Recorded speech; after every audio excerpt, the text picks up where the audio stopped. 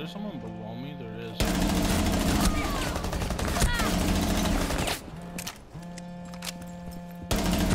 Oh my god. I don't know how I got that, but that's so fucking lucky.